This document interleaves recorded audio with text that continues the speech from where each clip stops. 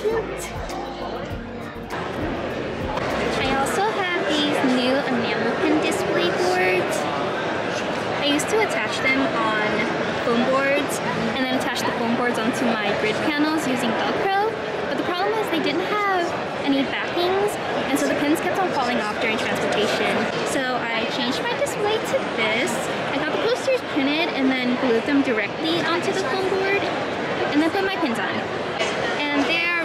Secure now and pretty hard to take off since they have these backings. And I guess if anyone does attempt to take them off, I'd be able to tell because the backings would fall off. In my week in Atlanta, I had someone ask me if Zoro was supposed to be running the opposite way on purpose. And I was like, no, I actually had him flipped like this at first, but I think someone had like flipped to see the design and left him like that. And I have him running the opposite way ever since because I think it's so funny because he's constantly lost. And now it is a marketing tactic.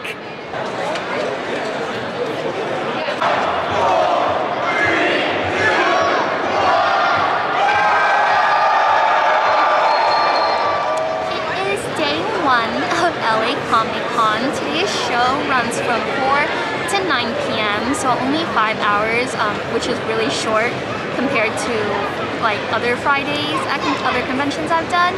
But that meant that I could come set up today instead of setting up yesterday on Thursday. We weren't given any instructions at all concerning loading. So if I had not done the event last year and knew people who knew where to go, like which parking structure to park at and where to pick up your badge and stuff, I don't think I, I would have been super, super lost.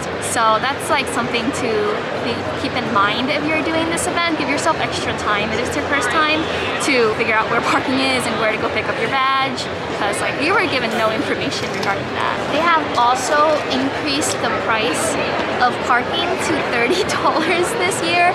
It was 25 last year, which already was pretty hefty, but now it's 30 and we're here for three days. That's $90 for three days of parking, which like I'm not surprised because we are in LA, but it's still like ouch, you know? And they ran out of exhibitor's badge when I came to pick up my badge today, so I am industry for this event. I mean, it works, but I was really hoping for one that said that said exhibitors though. Since I do I do keep my badges and I have like a little box, like a little collection of them. Here is five dollars and your print is inside the bag. Thank you so much. Have a good one. We are about three hours into the convention. So far, it's definitely pretty slow. Like I know it's a Friday, but compared to other Fridays I've had, it is definitely on the slower side. But it's okay. I think majority of the attendance is on Saturday and Sunday anyways. So we're still hoping that it really picks up tomorrow.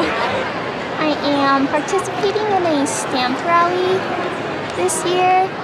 It's One Piece, like holiday Christmas themed. We were just gonna make it One Piece themed, but we changed our mind last minute and then it turned into a Christmas design since the event's taking place in December. This is the exclusive sticker sheet people will win if they collect all of our stamps. Also Christmassy themed. It turned out so cute.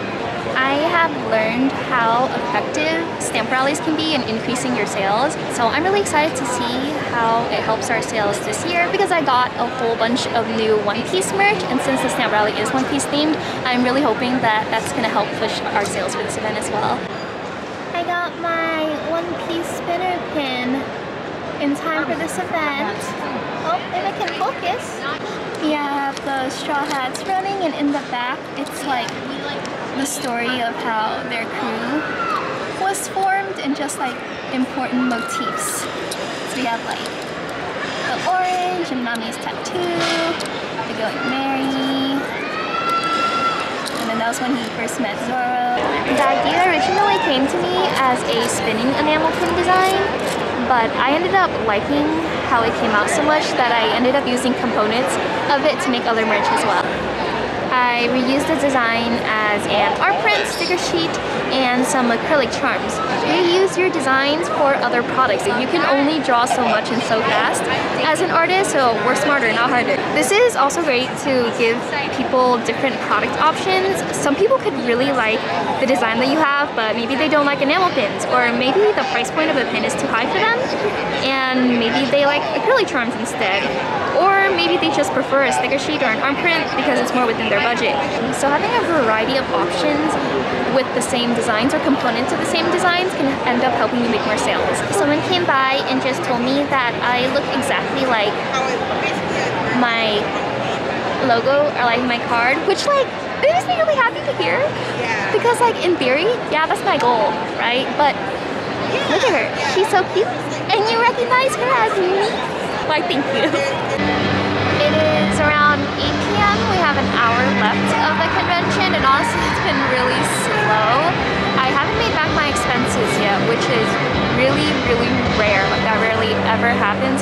Confident about making up all my expenses within the first day, but we have not made back our table today yet. I am really hoping that it picks up tomorrow and Sunday. It is day two of LA Comic Con. There was so much traffic getting into the convention center today. But that's good news because that means there's a lot of people here. We're about two hours in right now and it's still really slow for a Saturday. There was a really big crowd in the front when I came in the morning, but I don't know. It's like not translating into sales. So it's been slow. Thank you so much. Have a good one. So that'll be 12 total. And you have the stamp uh, card, right? Yep. I did buy from you before. Have you? I remember well, thank you. business card. Okay. There you go. One more left. I hope you get it. And everything's so much. Have a good one. And the card is he your favorite? He's not. Um, Oh. Suga is actually my Suga's your favorite. but I do like Honey.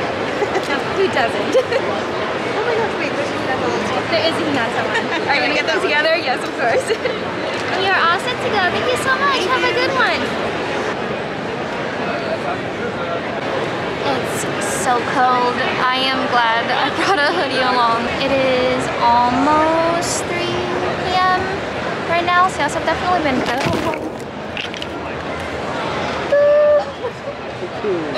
Thank you. Whoops. Anyways, I was saying that sales are definitely better today compared to yesterday. Um, it's faster now. Still not as bustling as I am hoping it would be, but it's been it's been decent. Um, we've been getting some sales, but like surprisingly, I haven't had a bucket hat sale yet, which is surprising since those usually sell like bucket hats sell pretty well. I don't have a single one yet today. I don't know, maybe maybe it's a different crowd.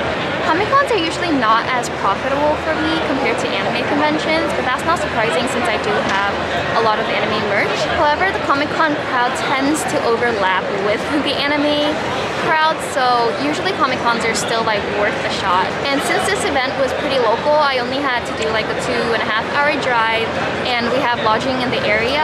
Only fees were the table, gas, and food for the weekend, so it's like one of those events where I'm like, okay, even if I don't make a very profitable amount, the overhead costs aren't very high. Something I've done to increase my chances of making more profit at Comic Cons is include like more non-anime merch or just uh, things that I know the general audience likes. So things like Studio Ghibli, Pokemon, or um, Avatar The Last Airbender. It's one of those things where a lot of people watch it and it's like very well known to just like the general non-anime audience and having those things at these events where like you're not guaranteed an anime loving crowd helps with your sales as well. I did this event last year and sales Friday for me this year were like not as good as last year's Friday. The rate that it's going on Saturday, like today, it's kind of on par with last year's performance, which is really surprising because my inventory has grown a lot since um, last year's event. So usually the trend is to see your numbers grow once your catalog grows because you have more options and variety of merch to offer people. So an increase in sales is to be expected. So I'm like a bit surprised this year, but you know, like event changes year to year, so can never really expect the same outcome. Ooh! Whoops. Ah! Oh no. Oh no. Oh, oh no. Oh. Please, I can't do this with one hand. It is the last day of LA Comic Con. I came early today to avoid terrible parking and also walk around to check out um, the rest of Artist Alley. What? Oh. We're in here together. God. I got coffee from Shamima. It's from one of my favorite Vietnamese coffee places in OC. It is around 1 p.m. right now. We have four hours of the convention left to go. Sales numbers today are looking a bit better than Fridays. Which ones did you get last year? The skate ones? Yeah, those are discontinued, that's why.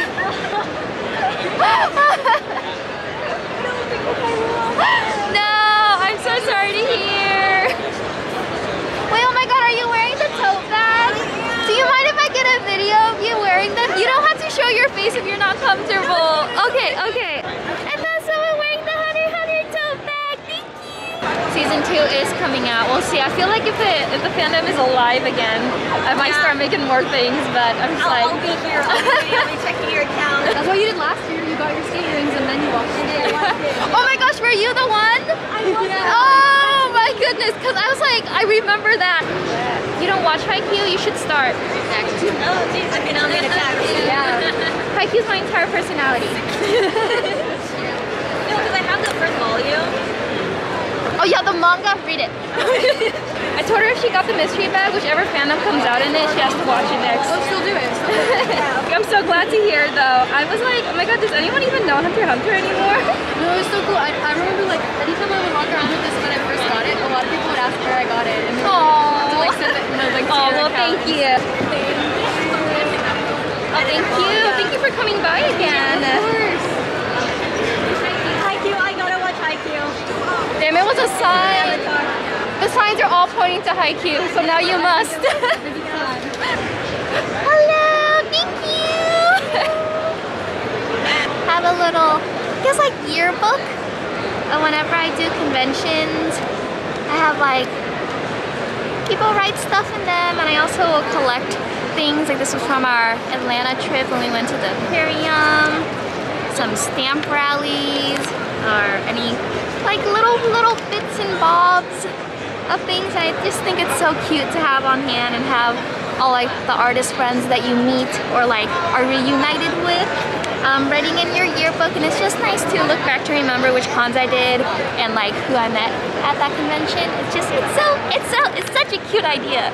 We have around three hours left of the convention and so far sales for the weekend have been less than ideal and if I didn't have a bunch of mutual artist friends that I knew here I think it would have been a really sad weekend for me. I try to give events at least two times to like form a solid opinion on it just because I know the events can vary drastically year to year. This is my second year at LA Comic Con and so far my experience for both years have been the same. Last year I think it was just decent for me but as you keep doing these conventions you develop a goal per day that you consider your absolute minimum. And I'm personally not hitting those goals for this event. I did make a profit, but it just isn't enough for me to consider this worth my time and energy. So I don't think I'll be returning next year, but I do know that they're changing the dates to the very beginning of October next year. So I'm wondering how that's gonna impact sales. Since the event this year is being held the weekend right after the Black Friday weekend, I wouldn't be surprised if people are just all shopped out and reluctant to spend. Also, LA parking is just really expensive. Like if you have to spend 30 to 40 dollars on parking alone, that's 30 to 40 dollars less than you have to actually spend in Artist Alley buying merch. So that's also just something to consider regarding the location of this event. I definitely don't think it's a bad convention, and honestly, I think this would be a fun convention if you attended as an attendee.